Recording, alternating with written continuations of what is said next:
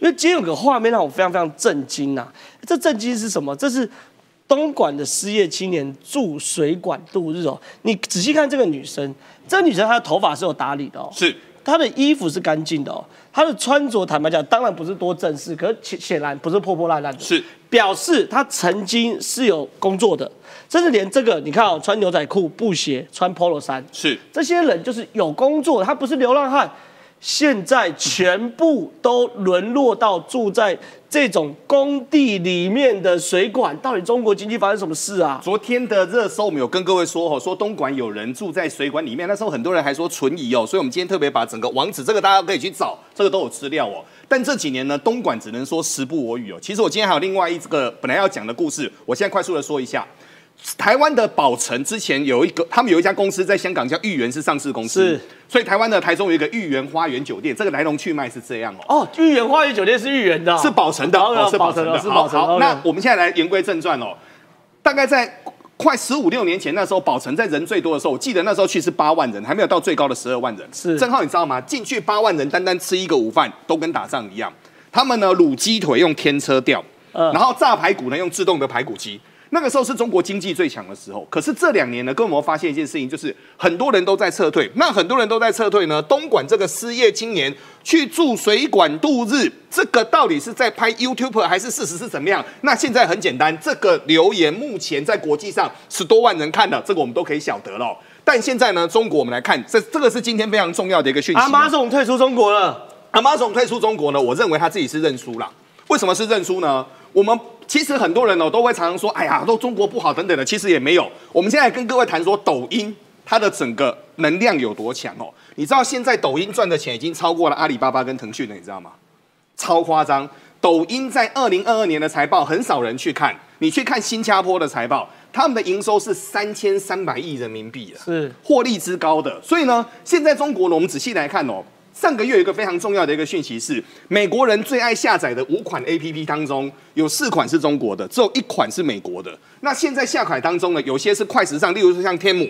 对，天母的话，它的后台是中国的拼多多。那它现在就是我快时尚，我便宜，而且呢，我让你包退。没错。那美国年轻人呢，一点五亿人，他就在里面做啊。所以亚马逊在美国、在欧洲攻城略地，在中国吃亏呀。是。但吃亏呢，亚马逊吃亏好，他离开。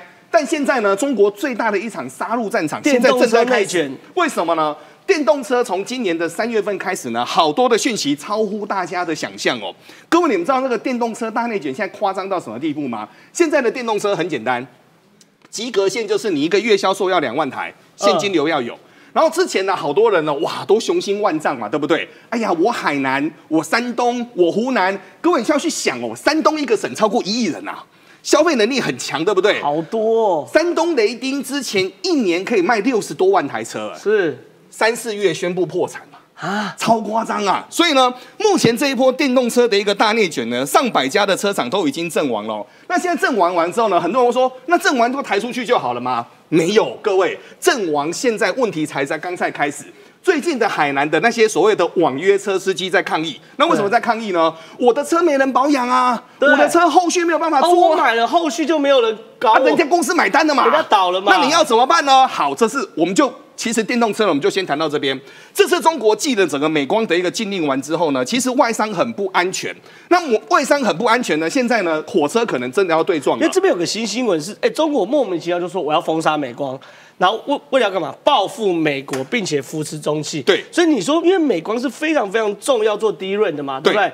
哎，美光这么重要国际级的公司，而你中国这么缺低润，你说杀就杀？没有这个这件事情，我倒是要仔细来说明一下。是美光的生意呢，美国区占五十趴，台湾占二十趴。我们昨天有跟各位说过，哈，AI 晶片上面烧的那八片，通通都是美光的，因为规格比较合。那中国占它十一趴，对不对？可是呢，还有一些重点。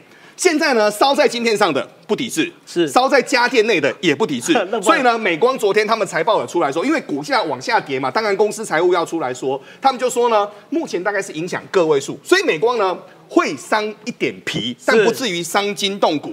但长江实业、长青实业可能就会春伤伤筋动骨了。为什么呢？美国会列入实体清单，那列入实体清单是什么呢？